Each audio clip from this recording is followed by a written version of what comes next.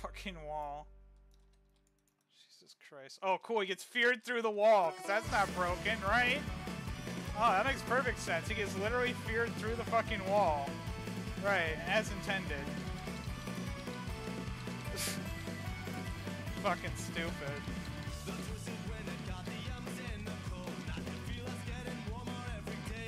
Gotta fucking pummel up.